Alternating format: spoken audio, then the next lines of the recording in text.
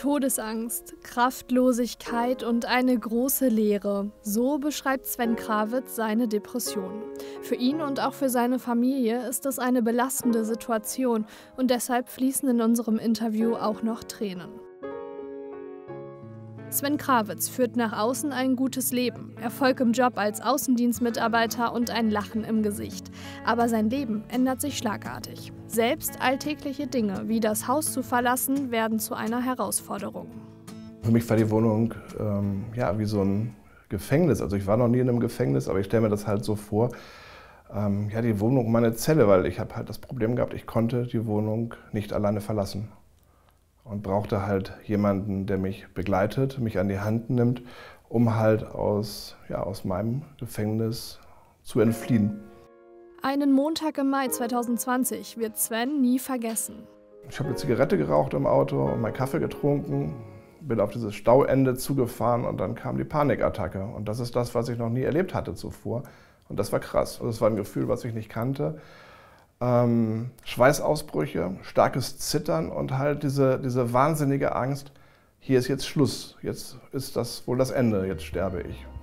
Sven leidet an einer starken Depression und an einer Angst- und Panikstörung. Aber zuerst will sich der 48-Jährige seine psychischen Erkrankungen nicht eingestehen. Dann sagte mein Arzt, ja, das ist dann wohl die Psyche. Und ähm, er würde mir halt einen Aufenthalt in einer Klinik empfehlen. Und da habe ich gesagt, das sind ja nur Bekloppte. Aber ich hab, muss sagen, ich habe in der Klinik wundervolle Menschen kennengelernt, weil ja, diese psychischen Erkrankungen, die machen keinen Halt vor reich oder arm oder groß oder klein oder Manager oder Putzfrau oder ja, die psychischen Erkrankungen, die können halt jeden treffen. Eine wichtige Unterstützung für Sven sind Selbsthilfegruppen. Deshalb gründet er in seiner Heimat Walsrode selbst eine und diese soll jetzt groß rauskommen mit einem eigenen Film. Das Ziel? Vorurteile gegenüber Kliniken, Psychotherapien und Selbsthilfegruppen abzubauen. Das Besondere am Film, die Schauspieler sind die Teilnehmer aus der Selbsthilfegruppe.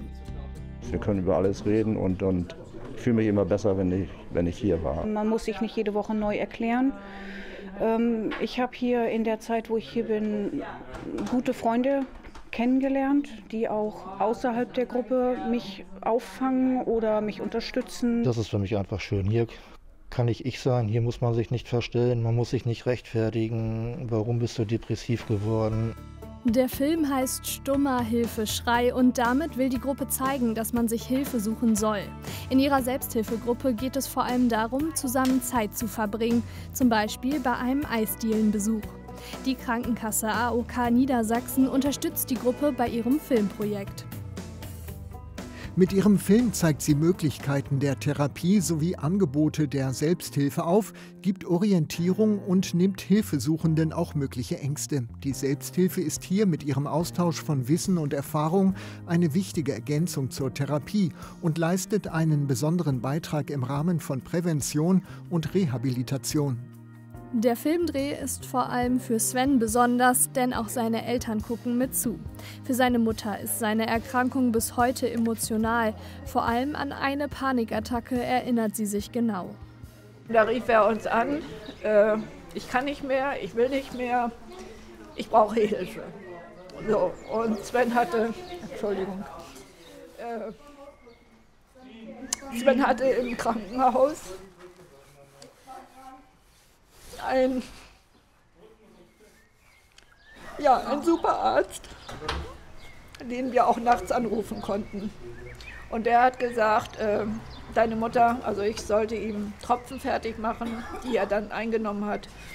Und äh, das, das ging dann ganz gut. Und seitdem muss ich sagen, ja, haben wir Sven unterstützt, wie man das nur konnte. Sven sieht auch viele Gründe für seine Erkrankung in seiner Kindheit.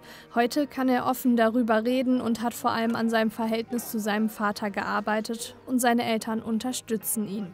Da sind wir richtig stolz, dass er mit seiner Krankheit an die Öffentlichkeit gegangen ist, dass er sagte, man muss diese Krankheit an die Öffentlichkeit bringen, dass die Leute wach werden und auch darüber sprechen dürfen.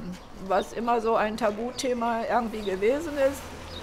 Aber äh, ja, da sind wir eigentlich ganz glücklich, dass es so gut geklappt hat jetzt. Das war, glaube ich, aber auch so, dass das Gefühle zeigen, so in der Kindheit, dass das gar kein Thema war bei uns. Also immer so diese, diese Glaubenssätze, ein Mann weint nicht, ein Mann muss stark sein, ein Mann muss cool sein. Diese Maske kann Sven mittlerweile vor seinen Eltern ablegen und will damit auch anderen Mut machen, offen mit der Erkrankung umzugehen. Und er hat vor allem einen Wunsch. Diese psychische Erkrankung, die sieht man leider nicht, die ist ja irgendwo im Kopf. Und ich würde mir wünschen, dass diese psychische Erkrankung genauso akzeptiert wird wie der Beinbruch. Und genau dazu soll der Film, der Ende August veröffentlicht wird, beitragen, dass Menschen, die psychisch erkrankt sind, keine Angst mehr haben, offen darüber zu sprechen. Noch mehr Videos aus Niedersachsen und Bremen findet ihr hier auf unserem RTL Nord YouTube-Kanal. Am besten direkt abonnieren.